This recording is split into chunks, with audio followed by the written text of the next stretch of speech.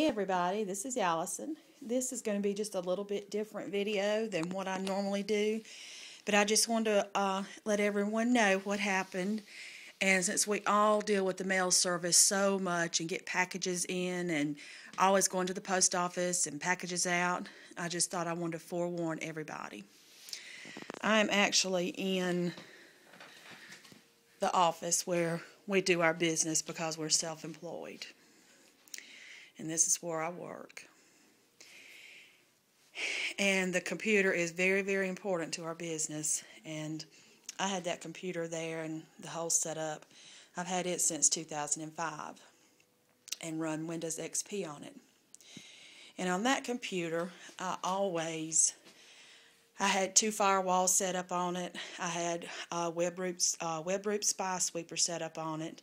I had an adware program on it, and I was very, very good. I had this stuff set up to run every single night in the middle of the night. When I come to get on it in the morning, I always took care of it, got rid of stuff that wasn't supposed to be on there because we had so much on that computer. I had all of our business since uh, 2000 on there, and uh, I had over 5,000 pictures of different vacations we had took and all our cruises and going to Disneyland. And just so happened I had all those backed up on disc, and a lot of them were printed out, but I probably lost maybe a thousand pictures. And what happened is um, Wednesday evening, I got an email, and it said from USPS. And it said, click receipt to see who sent it and when it will be arriving.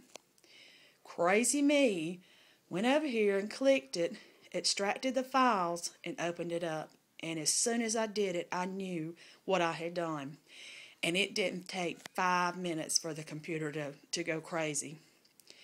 And it's my fault. I did it. And I guess because it said USPS on it, I opened it and I was thinking UPS, the, the delivery. And then after I clicked on it, I'm like, how would I, how would the post office even have my email address?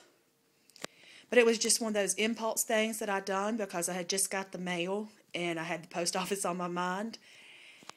But what happened, it was a virus and it was a very, very bad virus. And when it hit, it it hit everything. It tore up completely everything that I have. And I had not backed up probably in the last eight months. So everything's everything is just gone and um, my nerves are just completely shot over all of this. And I carried it to Best Buy thinking they would be able to fix it. And as soon as I told him what it was doing, he knew what I was talking about. He said that it is, is a new virus that's out there. It's only like a month, month and a half old. And he said they're having between 60 and 80 people a week come in Best Buy with this virus. And usually there's nothing that you can do to do to fix it.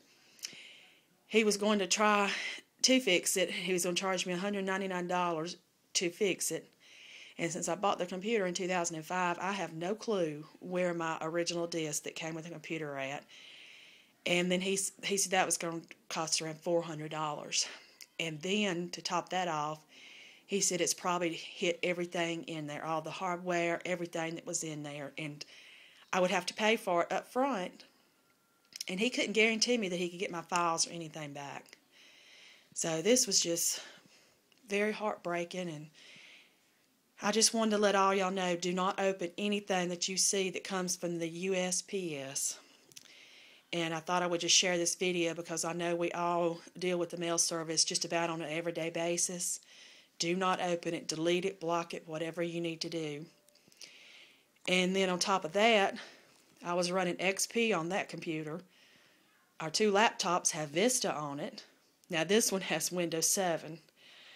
So now I'm going to try to have to learn Windows 7 and I always got all my email through Outlook Express and Outlook does Outlook does not give you their program for free anymore. It's $199. So now I'm trying to find a new way to get my mail. So this virus has really, really hit me hard and hit our business hard, and it is just so heartbreaking. But I wanted to share that with you because I don't want anybody else to have to go through what I just went through. It is terrible. And it's my fault. I opened it, I extracted it, and I did not back up.